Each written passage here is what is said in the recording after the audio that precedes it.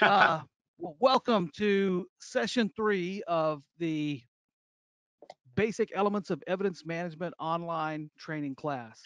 Uh, if you are here for online evidence management training, then you're in the right place.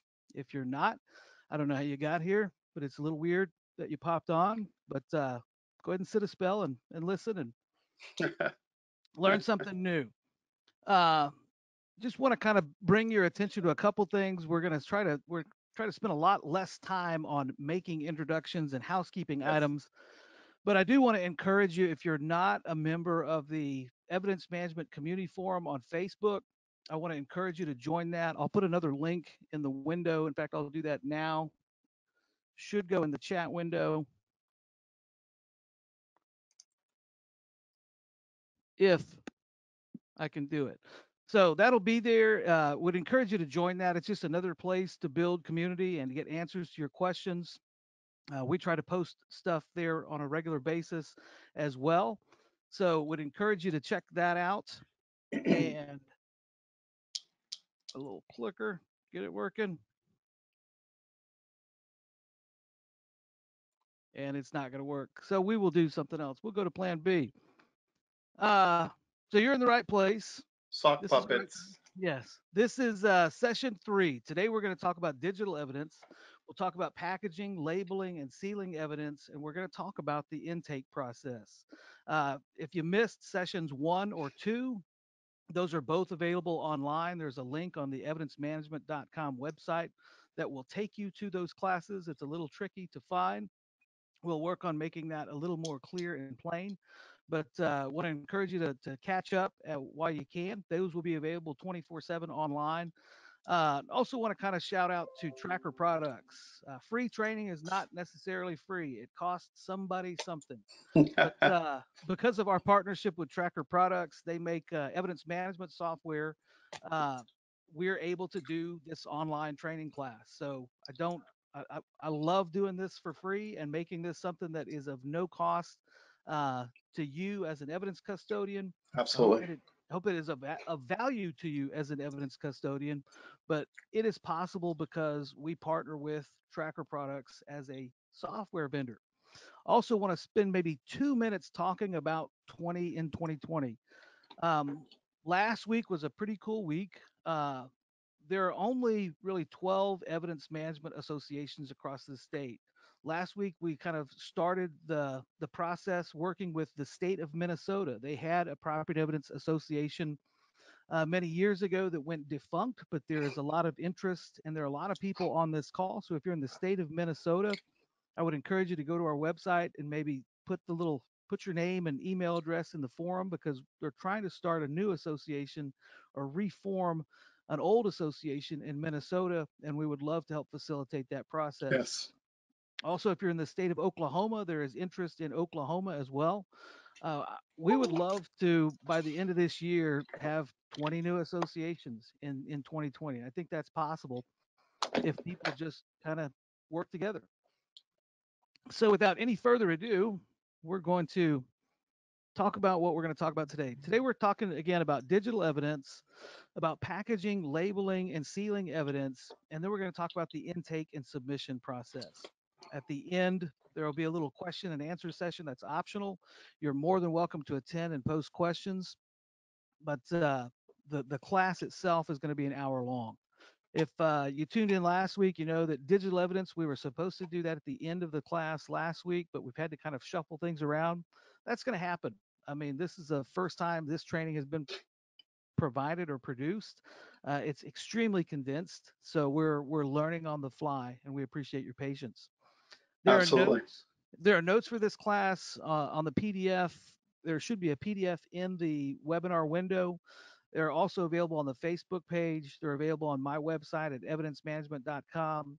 Uh, I try to post the notes as early as possible to my page, my client page. So sign up for a, for an account. It's free. We're not gonna we're not gonna do anything untoward uh, with your information, but that's that's how we can kind of keep it protected. Uh, so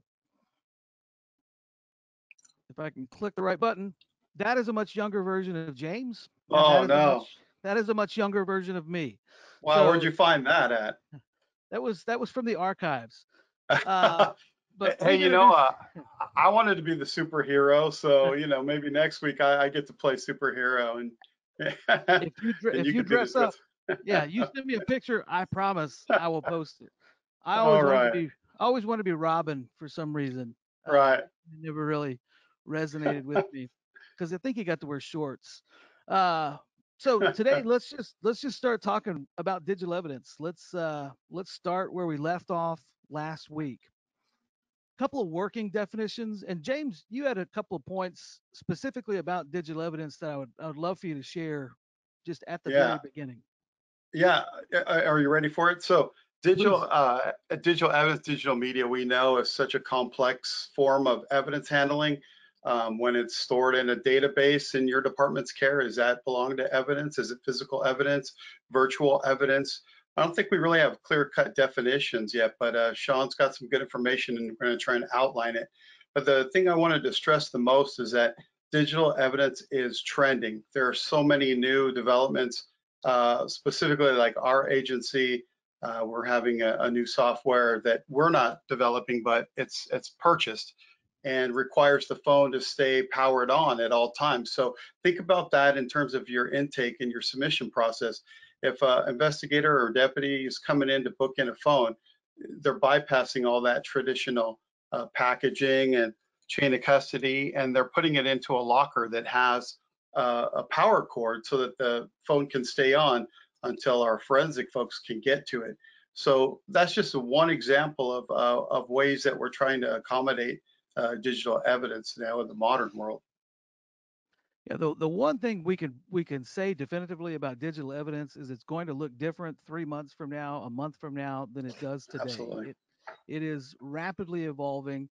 And I remember looking at my evidence vault at the police department, and I could have fit in, I think in 05, all the digital evidence at our agency could have fit in a shoebox. And you could just look at the shelves of CDs and DVDs and see the exponential growth of just storage on on DVD and CD, it was exponential. And now it's difficult to see the growth because most of that's happening on servers, but it's still it's still a tidal wave. Just a few working definitions to get us started with. When we talk about digital evidence, we're talking about it's a broad term. It's any electronically stored data that is associated with a criminal case. Uh, so it is an incredibly, maybe even an overbroad term, but digital evidence can be data or files that are stored on servers, data that is extracted from devices, data that sits on hardware devices. So it's a very broad term, but basically the data is the key unifying factor when we talk about digital evidence. And when we talk about digital evidence, sometimes you'll hear us use a term asset, a digital asset. That's kind of an interchangeable term for a file or a specific instance of digital evidence. So if I use those terms interchangeably, I'm, I'm talking about a specific file, an electronic file that's associated with a criminal case, uh, whether where regardless of where it resides and we'll get into that a little more. When we Yes. talk about digital storage media we're talking about where the data resides. Uh, most of that is going to either be on a server or an optical disc like a cd or a dvd uh, some of it will be resident on hardware devices cell phones that's you know the black box in a vehicle. Uh, those types of storage places cpus for those of us who remember them uh, you know, those are those are digital storage devices that that the important thing about them is the ev- the data inside. So that's something to keep in mind. It's also important to think about legacy storage. I know most of you probably don't have a VHS player at home. I don't. Uh, but if you've got legacy data on legacy devices, uh, that's what we're talking about. Stuff that nobody uses anymore. The little icon for saving things on your screen for those of you who weren't around during the five and a quarter or the three and a half inch floppy drive era, that was a that's a that's a legacy storage device. It's something that reminds us of our ancient heritage and roots. So when we talk about digital evidence, I want to go over just a few of the standards. And and when I refer to standards and best practices, these are things that we've published on our standards and best practices guide on the EMI website. That's intended to be an open source, kind of open forum resource for everyone. And we would love to see people kind of adopt those standards and practices because we know that they can make your operation better if you adhere to those those standards and practices. But we define, uh, or when we talk about management of digital assets, the important there are a couple of important considerations. One, digital evidence is subject to the exact same secure chain of custody requirements and considerations as we do physical evidence. It is incredibly important that digital evidence be protected, that it be safeguarded, that we be able to attest to the security and authenticity of those files. The same principles of chain of custody apply directly uh, it is incredibly important that you're able to authenticate or prove the authenticity of your digital evidence assets or divi- digital evidence files. And we authenticate them in a couple of different ways. But basically, when we talk about authentication, we mean that in order to use this digital evidence item as evidence, we have to be able to prove or demonstrate that it is a true copy of the original it is not important that digital evidence be the actual original source data. You know, if you take a picture on a cell phone at, at uh, you know, in patrol, you don't have to turn in the whole cell phone. That's the original source data. But what you do have to turn in is a, a true copy of the original data. And that needs to go through a process where you can attest to or account for the authentic nature of that file. It's generally going to be a background process that you don't have to worry about. But a term I'd like to throw out just to make you familiar with is, is a hash algorithm. And that is one way of authenticating a digital evidence asset to make sure that it is a true copy of the original.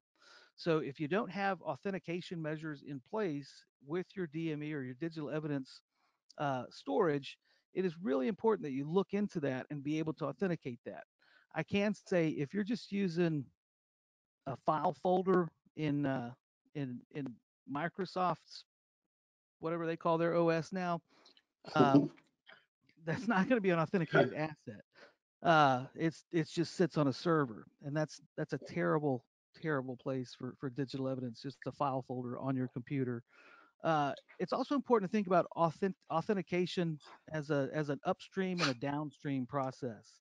Uh, we want to authenticate the evidence going into the system and prove that it is a true and accurate copy of the original. But it's equally as important to be able to authenticate that the asset that you're exporting is also authentic. So if that is just gibberish to you, uh, send me an email. I'd love to talk about it in the future uh, with a little more specificity. But but in the interest of time, evidence authenticity is incredibly important. Security is also important. It's incredibly important that we are able to limit access to these files to only those who need to have access. We should be able to track that access. So, however you store your evidence, you should have security measures in place that limit access to authorized users and track the access of that authorized use or access uh, in real time. Digital evidence security measures should also prevent unauthorized duplication or deletion or alteration or exporting of those files or items. It's really important for a myriad of reasons, but you don't want your department or your agency's uh, critical digital evidence being leaked out, or you don't want to have that capacity or functionality uh, in your system where someone could just send a file if they feel like it. Uh, that is that is not a good practice one of the key differences, in fact, the most important difference about digital evidence and what makes it truly distinct from physical evidence is access. Digital evidence is different in this in the sense that we want to give digital file access. We want to give access to digital evidence in real time to our investigators. If you've got a digital evidence management system, you can provide real-time, secure, authorized access to investigators. When you think about it, if you've got four or five people taking photographs of a crime scene and you've got one investigator that's the primary investigator, that investigator needs access to all those files. There should be one repository where you can go and have access to those files in real time as they're loaded without compromising the integrity of the evidence or creating other additional chain of custody issues. So it's really important that if you if you take digital evidence in, that it's accessible real time to your investigators and for your end users that, that need it. Um, otherwise, it just creates a problem for you and the investigators, and it doesn't doesn't solve any of our problems. Hey, Um, Sean, uh, just real quick, some of the uh, viewers are saying that your mic, it might be down just a little bit. If you might increase your volume just a tad. thank you so much. Is that better? Folks, yeah, folks, if you're having a hard time hearing Sean or if it's better now, please let me know. and I hope that's better. So if it's not, yeah, please do, because I play with those little buttons all day long when I'm on phone calls. So thank you so much for that input. Absolutely. Thank you. Uh, just a couple of notes on digital evidence sources. We can't cover this in a day. We can't cover this in a week. Technology, as we mentioned earlier, evolves more rapidly than policy or procedures or practices can typically maintain pace. But it's really important that your agency is prepared for the curve, for both storing current types of DME for legacy files and playing legacy files, and also looking forward into the future for emerging digital evidence sources it's difficult to explain what you need to look for, but you can usually watch your children and they will be able to, to point you in the direction of, of the next thing in digital evidence. Because chances are, once it becomes a popular consumer technology, it's going to be used somehow in a crime. That just always seems to be the case. So we need to be prepared to store it Absolutely. when we when we talk about digital evidence sources, there there are too many to list, but very common sources are optical media like CDs or DVDs or Blu-rays, uh, flash or solid state drive storage, basically the, the little USB cards that you plug into your computer, uh, SD cards and XD cards that you can pop into a phone or another type of device. My favorite digital evidence source is just source to server, where it's a direct upload of assets like digital photos or body cam video or in-car video source to server stuff is is my favorite because it's very clean. But there are also going to be digital evidence sources that we store and we keep in our facilities that are hardware stored data. You know, a CPU that we've seized from a crime scene, a cell phone that we've seized, even vehicle systems uh, on, especially on more advanced machinery and vehicles. There are going to be hardware that stores data on those devices that you might need to take in as evidence and store in your property room. So we need to be prepared for digital evidence to exist on physical sources that we can't really control or enumerate, but also servers and, and CDs and DVDs that we have to export. Uh, and then secondary source or extracted data sources. If you've got a Cellebrite machine or what's it, was it Gray? GrayKey is the new one for Gray Apple. The, so that yeah, there's a new emerging technology for Apple phones for extracting Apple phones and and that's GrayKey. But that that secondary source, whether it's Cellebrite or GrayKey or any any provider like that, uh, that's another digital evidence source that we need to learn how to manage and store. And when we talk about managing and storing digital assets or digital evidence, there are there are really three key features that are important. One, that it preserves the integrity of the original data, that it keeps an authentic, true copy of the original data on file, online, and available for future use. It provides future access to the stored data for the entire duration of custody. Now, if you've got a case, a homicide case from 1982, and it was filmed on a VHS or a beta recorder, but you don't have a beta playback or a VHS playback mechanism, then you don't have that direct access to that stored data. So we encourage you, if you've got old, those old preserved assets, that you retain the ability to play those files, or at least retain access to find someone that has a VHS, like maybe your grandmother or an elderly aunt. Uh, you know, there are there are a lot of people that still have VHS out there. It's important that you'd be able to access it for the entire duration of custody. That means if it's a homicide case and you've got a VHS file on that case, you're probably going to need to keep a VHS player around until you don't need that file anymore. As far as physical storage of digital evidence, which is my least favorite thing in, well, there are a lot of least favorite things, but really it's important to consult the manufacturer of that media for storage conditions and optimal preservation conditions. One thing that a lot of people don't realize about physical digital evidence like CDs and DVDs that you buy and burn off onto a disk to store your evidence. Those have a very limited shelf life, or they have a limited shelf life. Even the industry designs and intends those things to last about 10 years at a maximum. Now contrast that with a, a DVD that you buy for that's got a Disney movie on it. It's a different uh, it's a different process for burning the disk and, and producing that disk. So it lasts a lot longer. So it's really important that you store evidence, digital evidence, in, on a medium or, or a, a, platform that's designed to last the length of the, the, the required duration of storage for that item. If you're storing DVDs or optical discs or any kind of digital evidence, it's a good idea to incorporate protective packaging measures into your evidence submission process. Those might be providing sleeves for disk media for officers or shielded packaging for electronic devices, Faraday bags that for are anti-static. Yeah, for mm-hmm. cell phones. And it's also real quick, there's a difference between a Faraday bag and a Faraday bag. Uh, some Faraday bags are designed to enclose the bag and prohibit it from sending a signal outside the bag. But there are also Faraday bags, and I know this because I made the mistake. I ordered a bunch of Faraday bags and I realized that they were just static shield bags. They had no radio blocking capacity whatsoever. So don't just buy Faraday bags and think you're good. Make sure it's the it's right just type brand. of Faraday. Absolutely. It's just a brand. So uh, as far as general guidelines, with physical evidence, physical digital evidence, we treat it very similarly to the way we would any other type of evidence. We want to keep it from heat. We want to keep from high levels of humidity or fluctuation in either of those. Physical digital evidence degrades when it's exposed to direct sunlight, when it's exposed to dust, when it's exposed to static electrical charges, or if you drop it and break it, it's gone.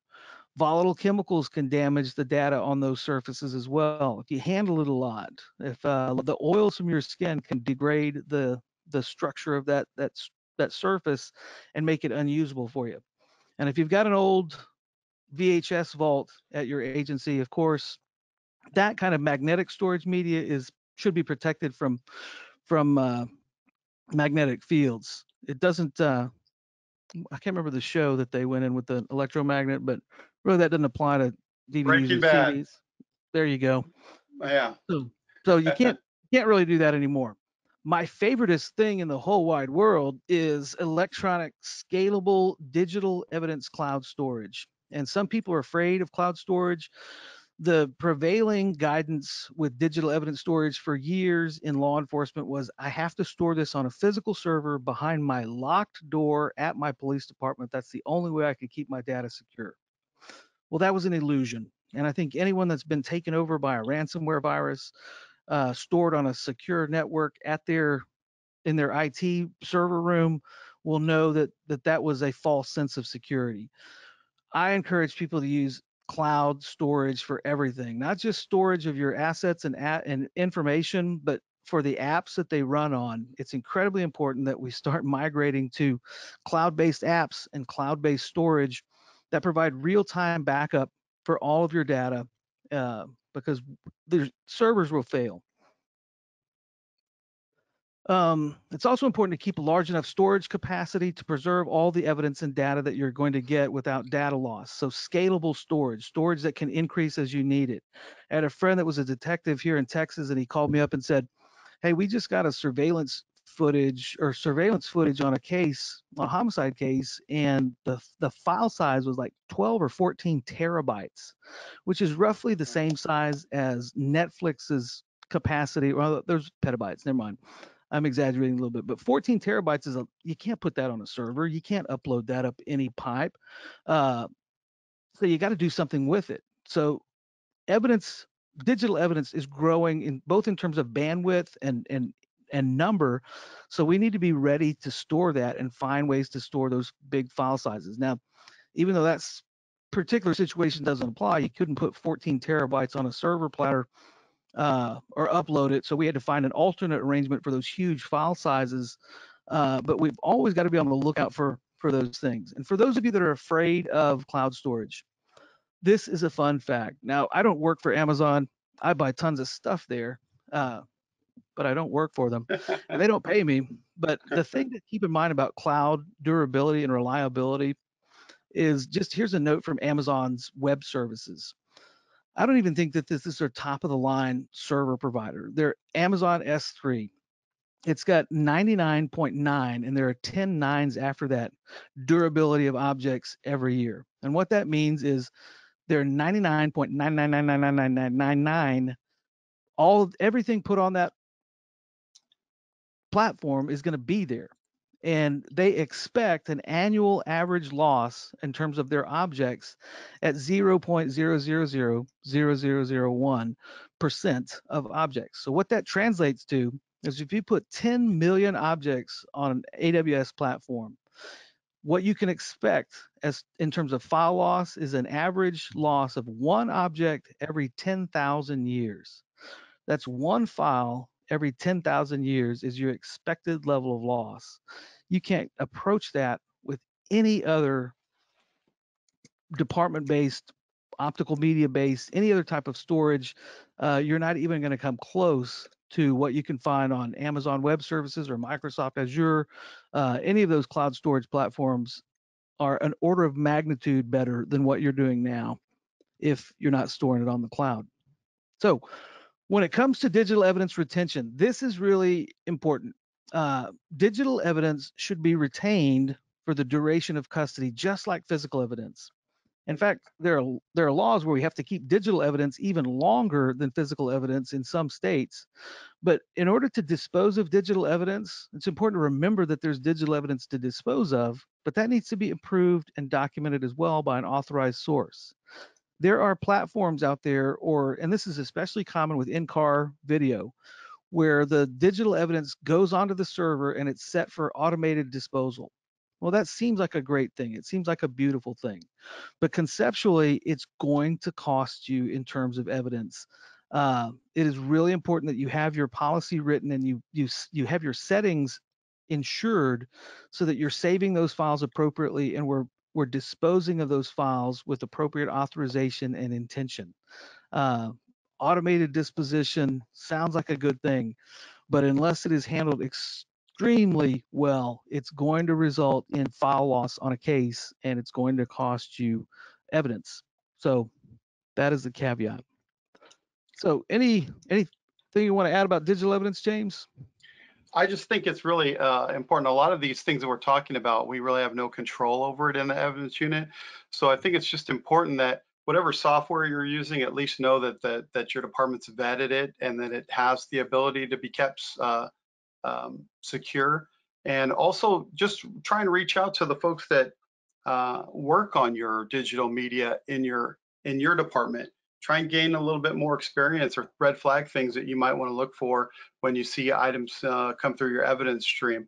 And I think once uh, at least you, uh, hopefully everyone knows who their their uh, computer forensics folks are with their agency or if it's a private lab, but at least uh, know who the resource is when you have a problem and you need to reach out to them.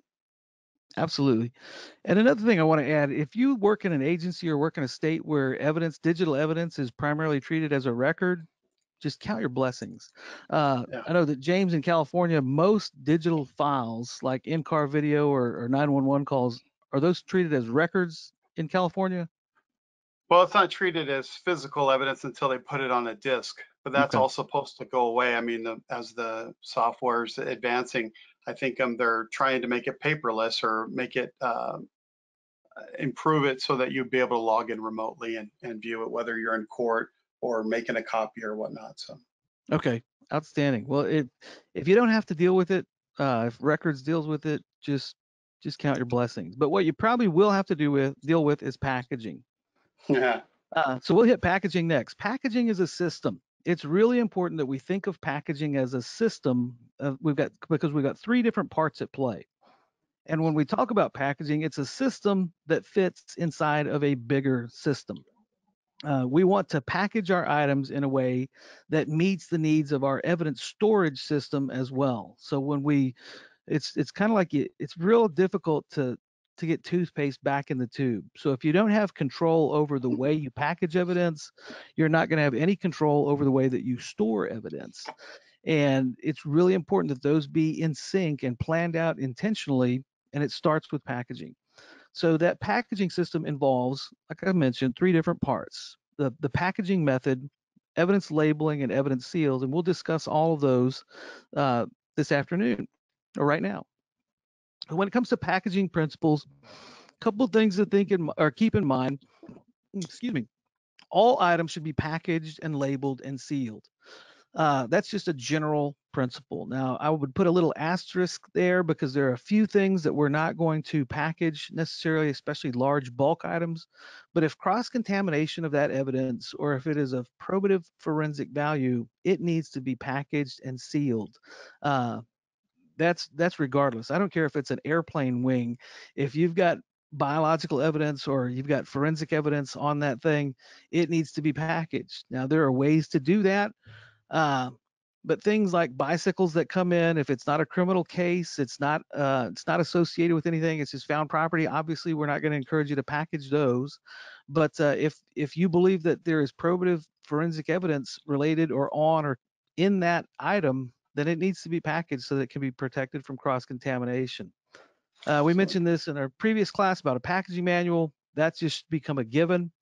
But I like to look at packaging in in this context of this little um, diagram on the side. I mean, we want to preserve the item in its original condition and we want to prevent cross contamination. Those are the two overarching uh, principles at play in evidence preservation.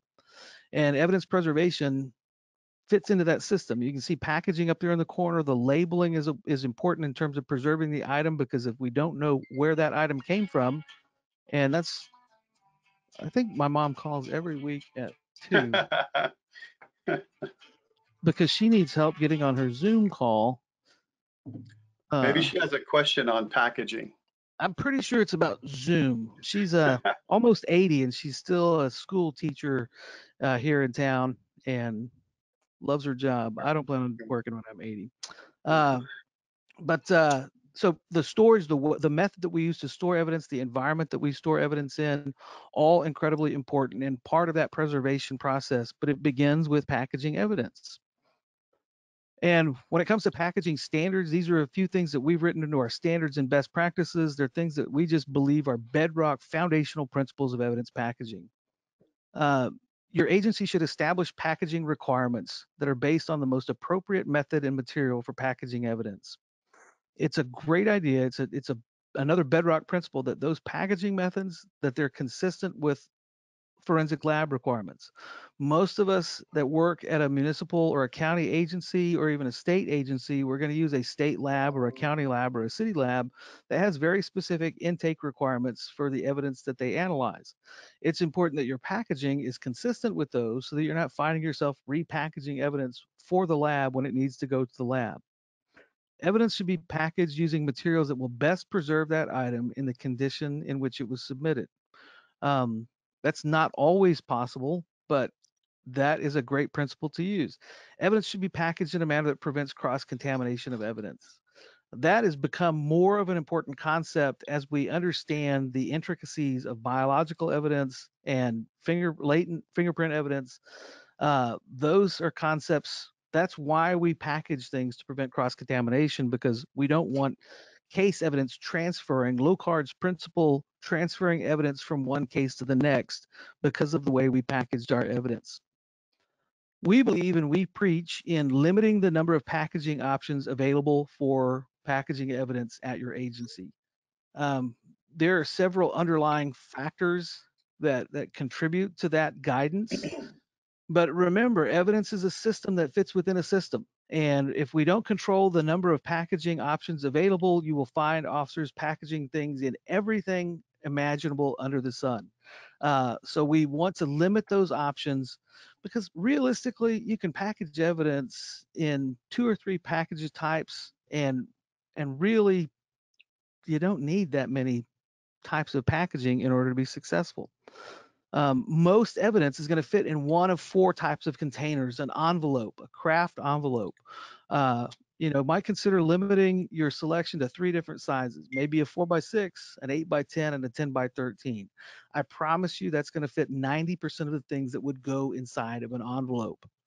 Similarly, kraft bags, kraft paper bags, consider limiting those to a, a five by 11 lunch bag a medium bag, which is a one six barrel bag. For those of you that remember grocery stores that had paper bags, that's the size of a grocery sack. And then those large 30 gallon lawn bags, especially for large format items that contain biological evidence, uh, the, those 30 gallon lawn bags are pretty much what that kind of thing just goes into by default. And then you got cardboard boxes, dimensional cardboard boxes. I, I can't give you guidance on the sizes. It depends on the agency. It depends on the type of evidence that you get in, but we recommend three box sizes, small, medium, and large. We don't want to store air, but we don't also want to keep up 50 different box types that we have to order and continue to stock uh, on a routine basis. There are also specialty or fixed use containers that I encourage people to use, gun boxes that are specially designed for guns. And there's some really cool emerging technology with respect to gun boxes that's coming out. I'm not putting those in the class now, but just know that that's something cool that's happening. Uh, and we'll talk about that as soon as we have better, more definitive information. But knife boxes, heat seal tubing, and I put a little asterisk by heat seal tubing because uh, that was manufactured originally by the devil and it can be used to horrible effect when done wrong. So uh, we'll make some specific caveats about heat seal tubing. It's terrible for biological evidence. It's terrible for anything made of metal. Uh, but there are some very specific use cases like James. Uh, I mean, they package in California, they package all their dope, all their narcotics inside heat seal tubing. Perfect use case for heat seal tubing. Almost, almost package the the dry narcotics. Uh, marijuana, if it's fresh marijuana, we always put that in those those large uh, we call them narc bags uh, that you uh, just displayed. And the the key to that is just punch a few holes in it so you don't get a bunch of mold in your uh, in your evidence room. But Absolutely. yeah, definitely all unknown narcotics should go in heat sealed bags, especially if it's considered for fentanyl. And uh, if anyone needs packaging guides for fentanyl, please feel free to send me an email. I'll be happy to send you some guides on that. Yeah, narcotics are a perfect use case for heat seal tubing. Uh, every other type of evidence under the sun is not. Uh, so sharps containers are great. Uh, it's probably my preference is you you train your officers don't bring those in. Uh, there are very very few times when when you actually need sharps evidence. If they were trying to file a dope case on a guy that has one squazillionth of heroin inside of a needle, maybe in your state that that's something that happens.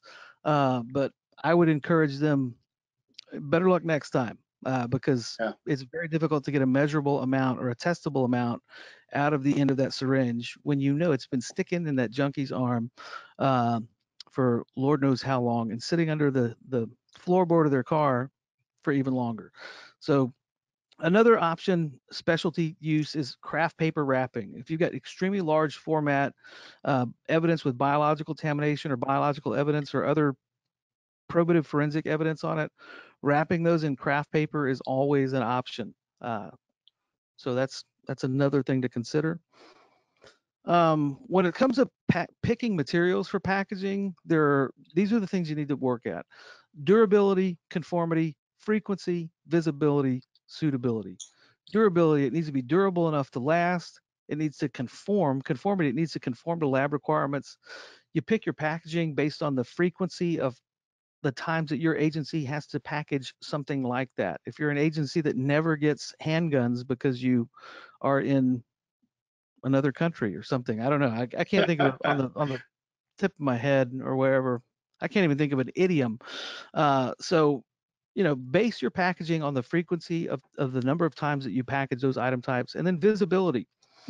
I hate tiny, tiny packages. I love tiny, tiny little containers. Those are neat, but tiny, tiny packages get lost. So make sure that you package it in something large enough to see and large enough to scan. And then suitability. This is where plastic heat seal tubing becomes a problem because heat sealed tubing is inappropriate as a as a packing medium for biological evidence. It, anything that's metallic or subject to oxidation or mold growth should not be packaged in plastic heat sealed tubing. when it comes to labeling, and I won't go into labeling in too great a detail. We'll just hit the high points here, but the basics of labeling are one, the barcode itself, the actual symbol barcode on the label the material that you use, the backing of the label and the printing of the label, they, they have to be legible and they have to contain all the data that you need to use. And then a few standards. We recommend the following. We recommend a polypropylene label stock, which is basically not a paper label, but a polypropylene. Uh, it's a polyester label stock that you use. And the reason we recommend this is because polypropylene will last forever They use polypropylene labels on oil field pipe. Um, if you we have to store evidence in a myriad a number of different con- conditions. You might store evidence in, in a frozen container or an outdoor storage that's going to be subject and exposed to uv radiation and light or in the confines of your property room which should be in a temperature controlled environment. You need a label material that's going to be able to withstand the rigors of each of those conditions uh, we recommend using resin or wax resin ribbons so that that stuff is legible and stays on the label for the duration of custody. And because of those two reasons, we recommend use thermal transfer label printers uh, for printing labels and creating labels. And those labels have to have a permanent adhesive backing. Otherwise, you're going to have a property room that's littered with the shells and hulls of old labels that have used an inferior adhesive just throughout your property room. And that's that's not a good thing. Mm. Absolutely not. Your packaging manual should prescribe procedures for creating the labels and also placing the labels. Cops love to find creative ways to place labels in in locations that are absolutely unusable. And when you're doing an inventory, if you're doing an inventory of an envelope location, you want all of those envelopes, the labels to be placed at the top so you can scan through the system and and zap it with the barcode scanner. It makes things more efficient. In order to do that, you have to put that in your packaging manual and you have to hold uh, officers accountable for that as well. So I think my elbow hit that. So when it comes to labeling standards, again, materials that are going to be suitable for storage conditions that won't weather or degrade, that's going to be legible, that won't become detached during storage. Those are incredibly important. I hate to see evidence labels applied directly to evidence items. Uh, that's that's a, something we've written into our standards. Anything that will permanently deface or decrease the value or utility of an item, you should not put an evidence label on that surface.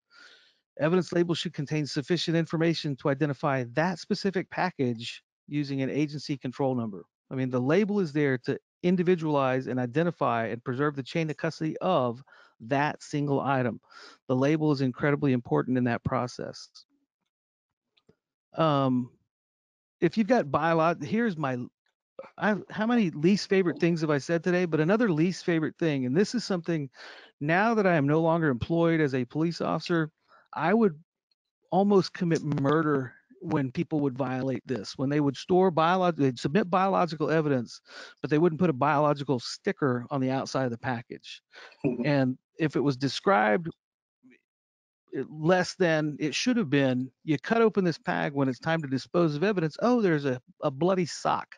Uh, that was nice. It just said white athletic sock, and now it's covered in Mm-hmm. human blood. And I wore PPE and I'm ready for it. But I would always find a special moment to share with a young officer when I would find things like that under those circumstances. But that's why we put biological labels on things. That's why we put hazmat labels on evidence that is hazardous because we owe it to our evidence custodians, we owe it to the agency, we owe it to everyone involved in the process to keep people safe. Um, and, and I know that resonates now in the in the time of COVID, but when this is all past and gone, uh, it's still important to label that stuff with a biohazard sticker uh, in perpetuity. Uh, we recommend selecting barcodes, uh, barcode symbols that are legible, that provide accurate reading with scanners and devices, and that contain all the required information inside that little data string. Some of this gets into the weeds a little bit, but you want to make sure that your your barcode numbers and symbols are generated by a system that, that ensures that that number and that symbol is unique and individual to that specific item, that they aren't Absolutely. duplicated unintentionally or assigned to another item. That has to be a part of the system that that never ever happens. We ordered before I before we made changes at our agency, we ordered barcodes in rolls. And we should have really just used Garanimal stickers. We should have had a purple panda and a purple panda and pulled one off, put it on the property sheet, and the other put it on the item because we didn't use barcode scanners until much later in the process. So essentially, we were matching Garanimal labels. Uh, but we ordered the wrong number of barcode labels at some point in the history of our agency in the past. Oh my God. And so we had a string of barcodes that were the same number on the same item. And guess what? Barcode readers can't differentiate between which one you were talking about. And there's, yeah, wow. And I thought that I'd turned all those notifications off, but apparently not. How many Uh, phones do you have? I have too many. Uh, let's see. And, and, and, Apparently. and, and I think I mentioned an elderly mother that doesn't know that I'm teaching a class from two to three and we're in the same time zone. Um, So I'll call her, I promise. Uh, you also want a translation of your barcode label. When the world goes to hell in a handbasket and your label makers or, or your printers are down, your computers are down, let's say you've made a paper list of evidence that you're looking for, uh, you need a barcode that has a translation of what that barcode means so that we can verify that that is the item we're talking about independently of technology. Technology is going to fail at some point. And when it does, we want to be able to independently verify that this is indeed the item that we're looking at and the item we're looking for. And if you put a translation of that barcode label, uh, oftentimes you're able to do that if you have a source document to work from. When it comes to Mhm. seals, this is really simple. Uh, the, the basics of sealing, the intention of sealing is one, to close a package. That's pretty simple in and of itself. But we also want to detect tampering or access into that package or attempts into that package. Um, so we got to use the right materials and we got to use materials that are designed to meet the intended purpose. Um, so I believe that all evidence packages should be sealed to prevent unauthorized opening and detecting of tampering. So we do that in a couple different ways. It's really important right now to discuss one thing really quick. You don't have to use tamper evident tape to close every box. In fact, if you have got a cardboard box that you're storing engine parts in and you try to seal that with tamper evident tape, it's going to drop on your foot because that type of tape is not designed to provide a mechanical seal to a package. Evidence packages should be mechanically sealed. That means they should be sealed to prevent opening. The way that you do that is with clear, heavy duty adhesive tape. You, but we augment with tamper tape uh, because that really helps us detect unauthorized access. There are a couple of exceptions to all packages should be sealed. That would be one would be firearms evidence, which we'll discuss in a later class. But uh, we recommend sealing every package that comes in. The officer that submits the evidence needs to seal the evidence appropriately and to specifications. Um, we also recommend if you've got other pa- packaging material that with seams that are vulnerable to unauthorized or undetected opening, seal those too. I mean, it it it, it can't hurt. Um, now, do you need to go to the to the extreme of sealing every fold in a in an envelope? Probably not. Uh, you'll have to make that call based on the packaging that you're using. Evidence seal, should be inscribed by permanent ink. Don't use pencil. Don't use ballpoint pen with the initials and identification number and packaging date of the person who packaged the item. You're never going to be able to tell whose initials those are. Those are mine. Uh, but you can tell that that badge number is 796. That's my badge number. Uh, the date that it was packaged on is clearly inscribed on the label. And on most of those package surfaces, the, the, the, the signature is overlapping the tape to where if someone lifts that tape, it's going to be very obvious that someone had tried to lift that. Uh, and that's why we do it. So for best practices, again, clear heavy duty packaging tape is a great thing to use for sealing those boxes. When you're creating a, a cardboard box, make sure you seal the bottom of the box and initial it before you fill it. Uh, that's happened to me and it's uncomfortable and weird when you do that. So if you can learn from my mistake, please do. Uh, if you're going to use tamper evident tape as a primary seal, use it only as a primary seal on light packaging. Use it as an additional security seal on boxes or, or large envelopes or bags. Uh, and then let the stuff dry before you mess with it too much. Anything, James? I'm just answering some questions here too. I have a few questions, so maybe I could review those real quick for you. So, uh, um, looks like Chad says a small amount of marijuana in a large mason jar. Any reason to keep the jar and not place the marijuana into a small envelope to be submitted? Uh, seems like a waste of space.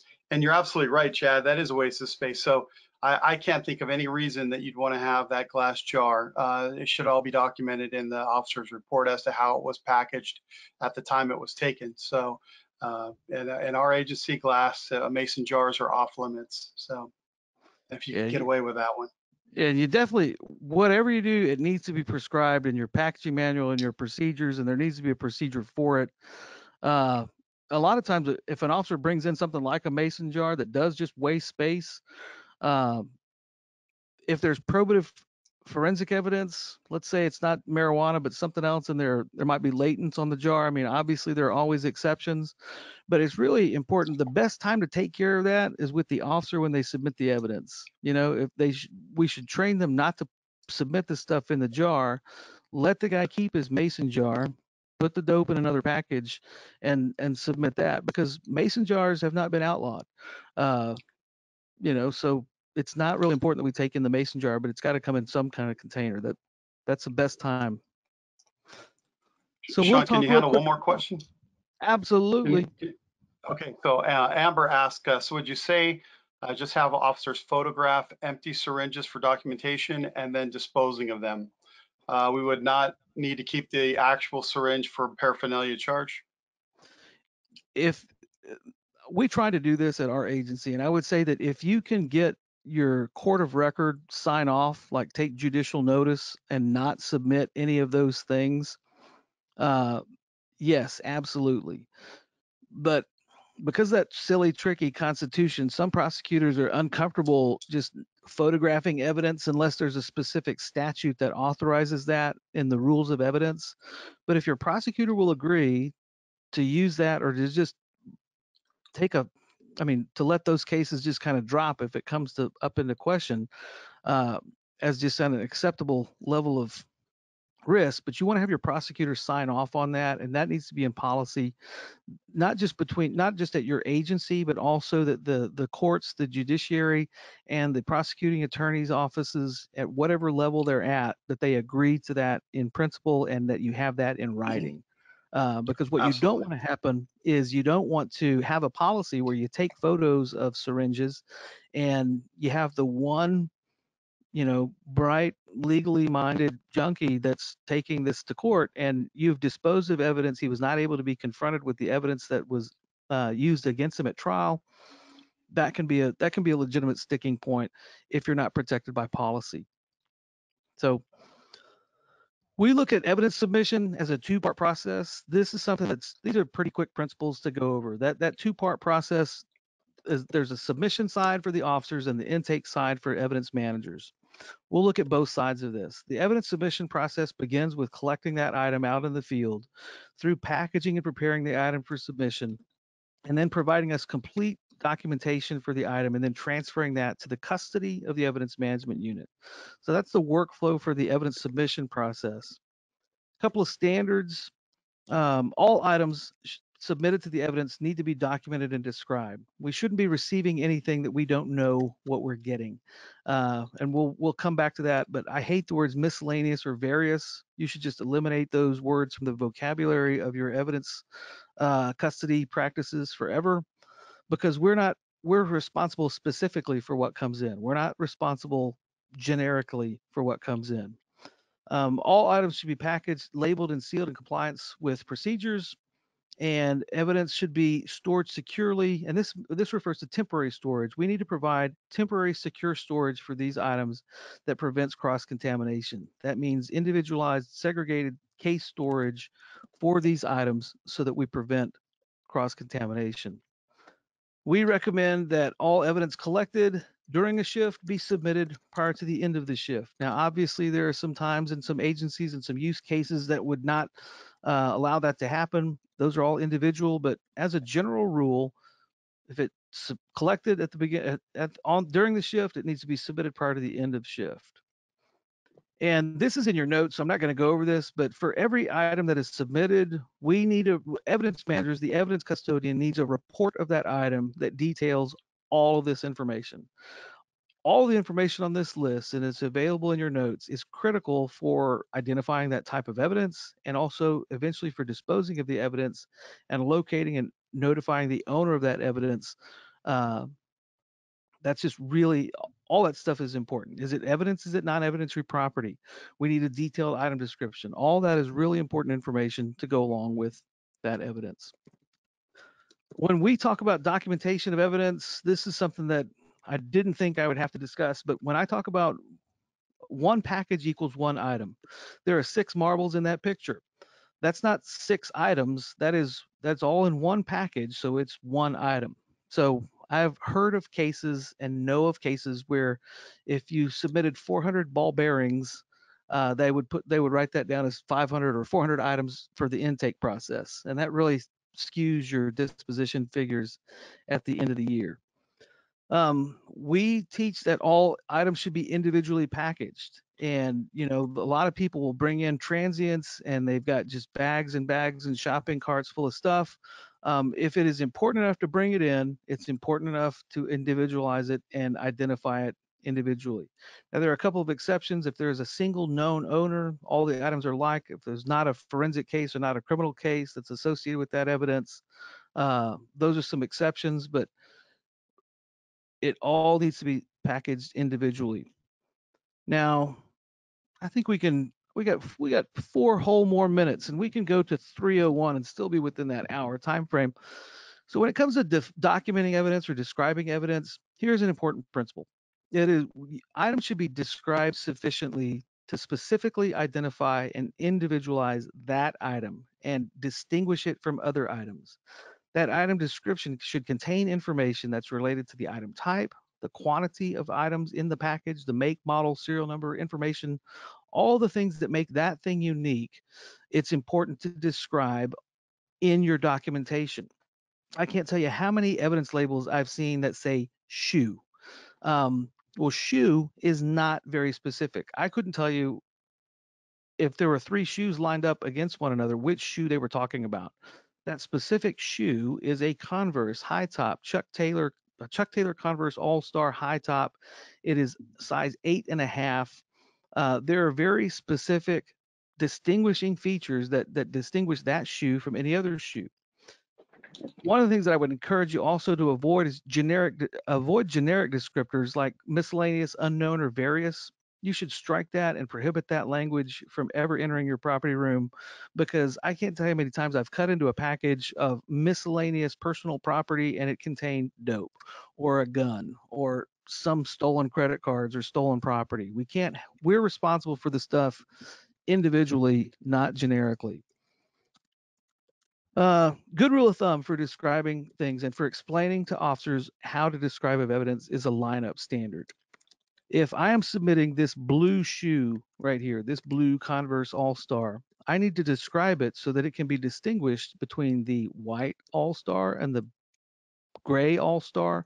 Or if I'm submitting this ring right here, this little blue stone ring, I need to describe that ring sufficiently so that I can read the description and, and pick it out of that rack of jewelry. Uh, it's really important that we use descriptive language that individualizes that item. We recommend a lot of location and sublocation fields, especially for like dope cases or, or criminal cases. You know, we found this knife. It was at 1704 Kanipe. Uh, well, where did we find it? A sublocation would be the bedroom. So it's great to provide location and sublocation fields for your officers so that they know specifically where that item was retrieved. Um, I love using controlled or preset descriptors for item type, weight, my uh, model, make, and serial numbers of things because you want to avoid free text descriptors in your database. They just make things very unclean. I mentioned last week that the word Glock could be spelled wrong about 470 different ways. Uh, if you use a, a drop-down menu with the word Glock, G-L-O-C-K, uh, and you don't allow them to free text, you're going to get the same clean database information every time. So on the intake side, here are some things that that happen with evidence when they are put into the locker and we are pulling them out of the locker on the other side. The items should always be inspected. The best way to avoid getting crappy packaging by officers is to inspect things when they come in and by rejecting them immediately when they fail to comply. So basically inspected, rejected, accepted. We hope to skip from inspected to accepted but we want to inspect those items when we come in. We want to make sure that they conform to our policy requirements because if we don't inspect them then and we find out that they don't later, it's too late to ask them to repackage it four years from now when you're disposing of the evidence. You've already established a pattern and practice of doing things wrong. Um, so the intake process basically is receive it from the submitting officer, whether it's temporary locker or direct, inspecting the item, accepting it. Then if it's got to go for additional processing or correction, then there's a little feedback or return loop back to the officer. Um, and then we store it until we dispose of it. A couple of processes or a couple of facility things to think about. You need a place for officers to package evidence. Uh, you just need that for them in order to have that performance expectation. Ideally, you need temporary submission lockers for your officers or a 24/7 service window if you've got that luxury. You need some way of cold storage or storing cold evidence temporarily that segregates evidence and, and prevents cross contamination. You need to provide an area for officers to submit bulk evidence that doesn't fit in lockers. It is a great idea to provide a correction locker, a secure locker that you can return evidence to the officers so they can make those corrections. They don't have to come in on their day off or their, their time off. And if you're not a 24 7 shop, it's just a great service to provide. And then on the other side of the locker is a process, an area to process that stuff. All of those things are equally important. Um, when it comes to evidence packaging, oversized evidence, basically, this is the one evidence type that you don't necessarily have to package. But I will say, if if it is of probative forensic value, that needs to be wrapped in kraft paper. Uh, that's just a great principle never to violate. There are a few other evidence types that might not need to be packaged, but anything that doesn't need to be packaged still needs to be labeled and it needs to have a label affixed to it. Um, you'll make those decisions as an agency. So next up, that is we are we are one minute overdue. That is like lightning speed. Next week, we're going to talk about evidence storage and we're going to talk about organization, which to me is another one of my favorite things to think about or talk about. We're also going to talk about evidence disposition, another really important uh, concept uh, for evidence managers. If you have feedback, if you have questions, you have concerns, don't hesitate to contact me at sean at evidencemanagement.com. Uh, we'll, I welcome your feedback your questions, your concerns. We're going to use those to make this experience better for you. There are certain things that we're just not going to do. I'm not going to shave. Uh, so if that's something that's that's a non-negotiable. But other than that, we want to make this useful for you. We want to make it a valuable learning experience for you, and we want the information to be relevant and applicable to you. So that is technically the end of this session. If you have questions, we will answer those kind of now. Uh, and we'll stay on the line as long as there are questions to answer. But Yeah. this is the end of this session. We're going to cut it off here. So if you want to drop off, thank you for being here. We'll see you next Thank you. uh, next week, same bat time, same bat channel. Awesome. So, do we have any questions? Um, let's see here. Not nothing at this point. So yeah, looks like we're good.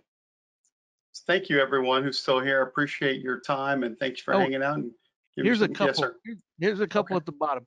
If evidence is improperly packaged and needs to be repackaged, is there a need to save the improper packaging for chain of custody purposes? I would say this.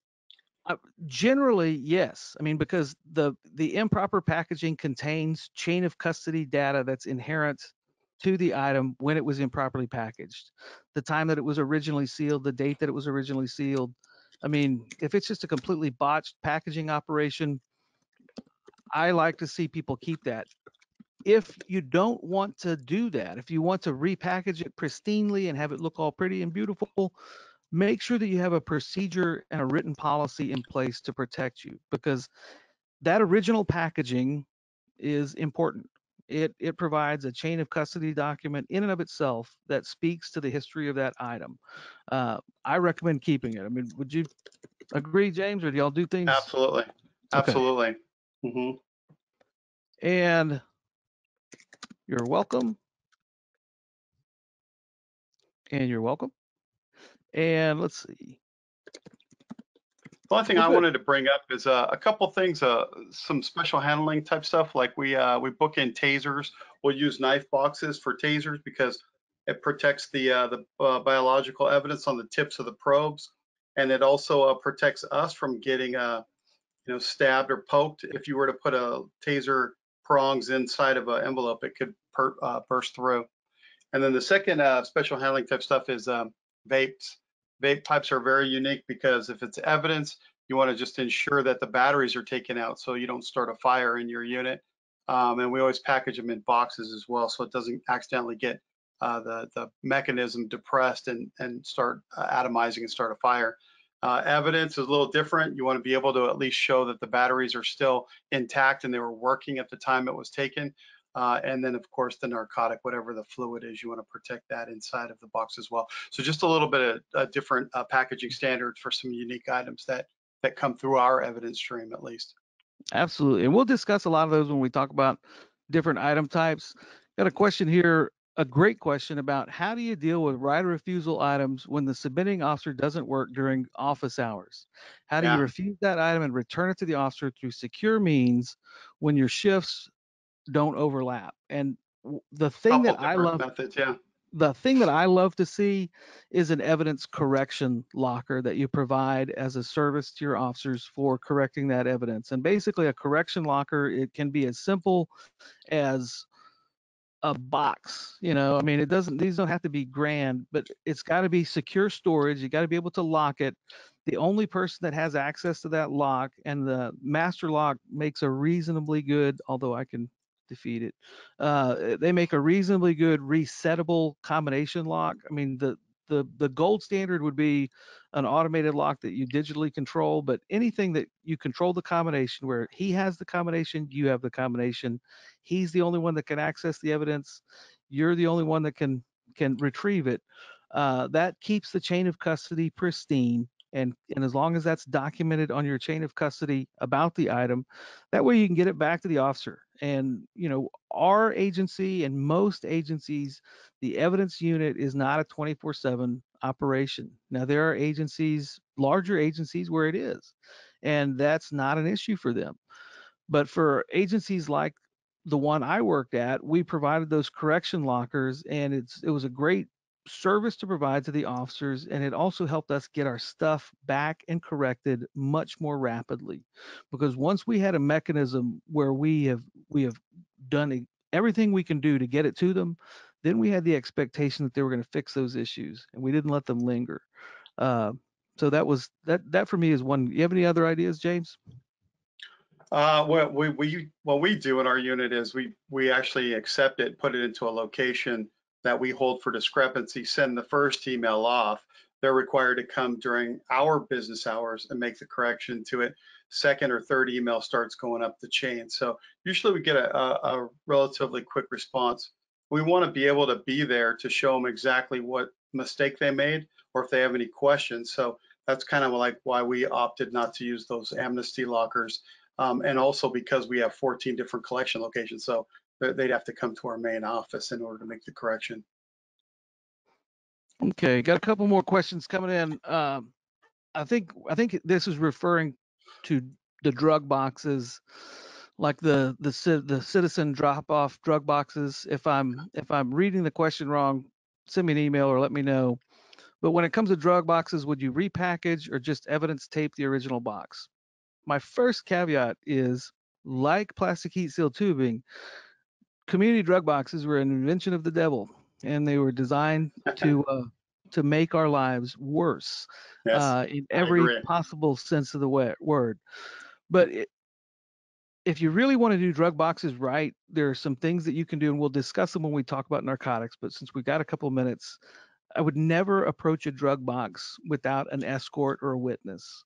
I would prefer to approach that drug box under video surveillance and be under constant video surveillance for the entire time because inside that drug box is all kinds of stuff that we can't hold anyone accountable for. We don't know what it is. We're not going to identify the substances in there.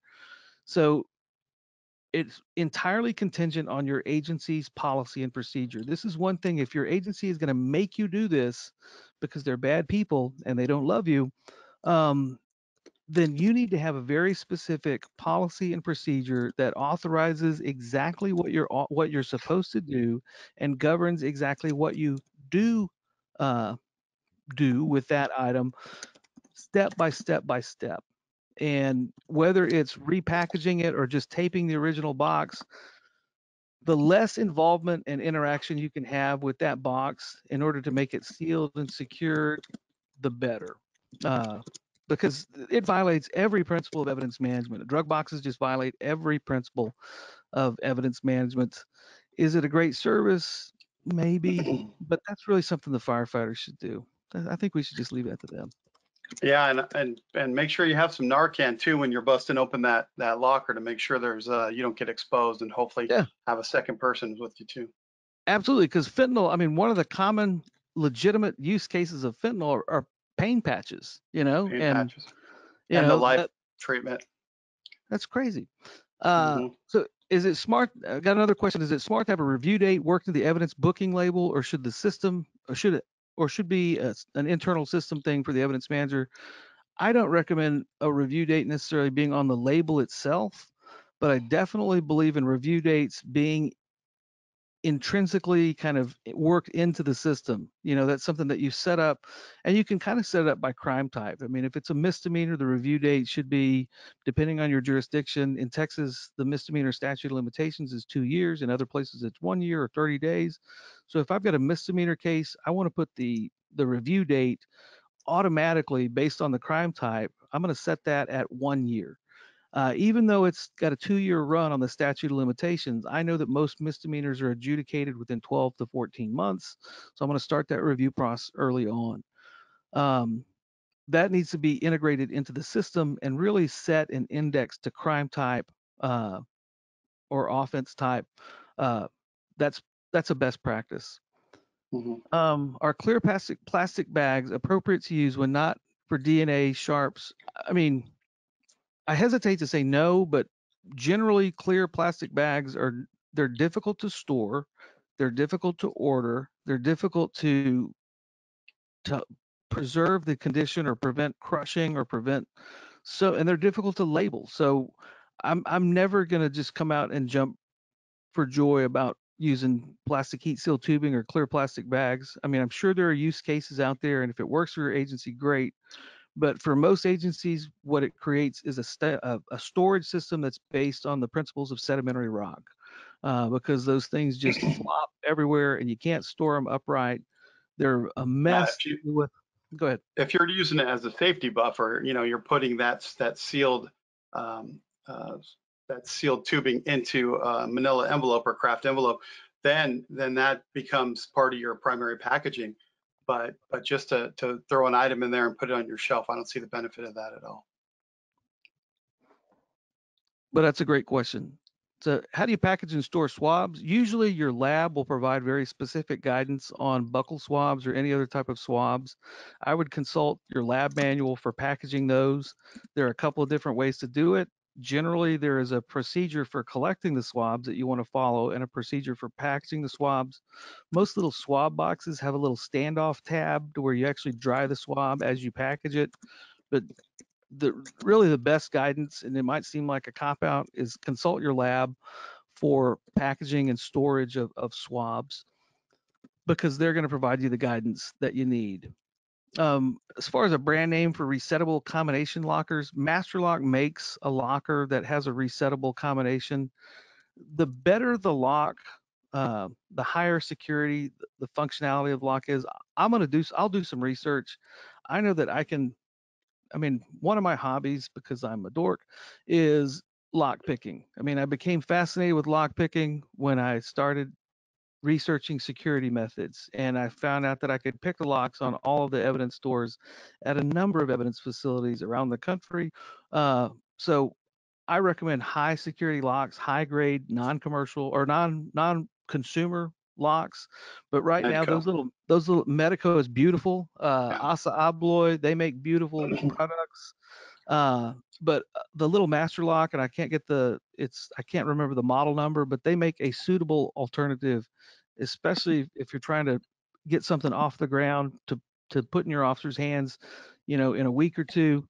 Those are 15, 20 bucks. A little locker enclosure box, uh, you know, for a hundred bucks, you can you can create a, a return locker.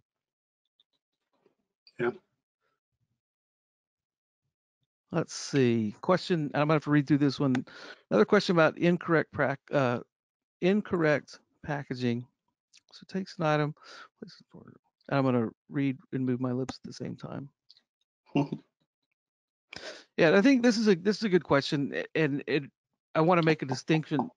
When I'm talking about chain of custody purposes, and the reason that I recommend keeping packaging on mispackaged or poorly packaged or, or packages that need to be redone, um, because on that evidence package uh, that is submitted incorrectly, there are going to be some some physical chain of custody indicators.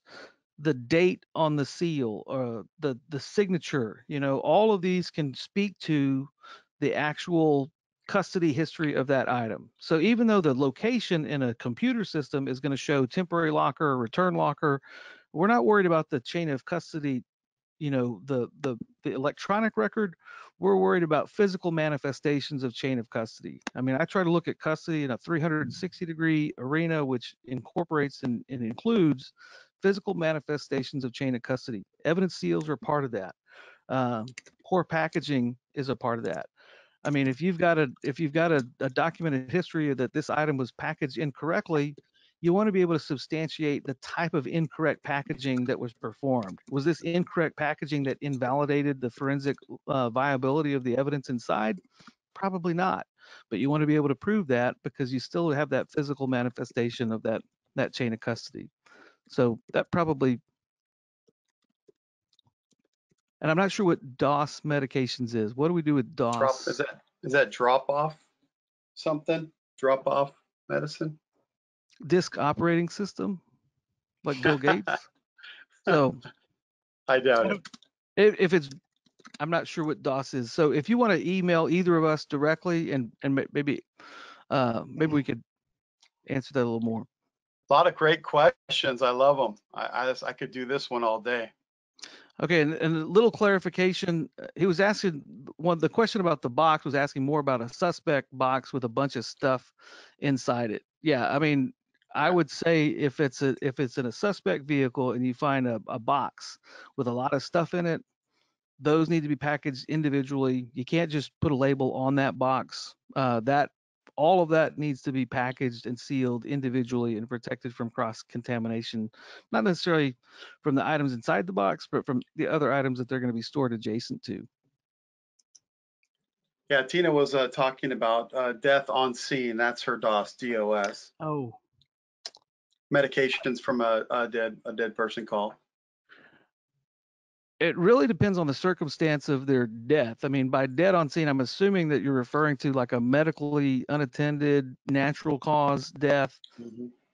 what most jurisdictions do, and there's probably some guidance in your specific state statutes related to drugs. I can give you an example from what we do in Texas. When the medical examiner rules that drug medications or medications, whatever was collected at the scene, when they rule that it's natural cause, we are authorized in our jurisdiction to immediately dispose of that evidence. So if we've got, you know, unattended deaths, medical deaths, you know, deaths where the, the cause is been determined and signed off by a medical examiner. Most of the time, under most circumstances, those are uh, those are eligible for disposition, but your policy needs to reflect that. Now, if it's another type of death, maybe a suicide or maybe a suspicious circumstance death, or a death where they they can't identify the cause of death, or it, it there is an unnatural cause, uh, that's something you might have to keep longer. But I'm assuming that that's what we're we're talking about. Yeah, I'm responding as well.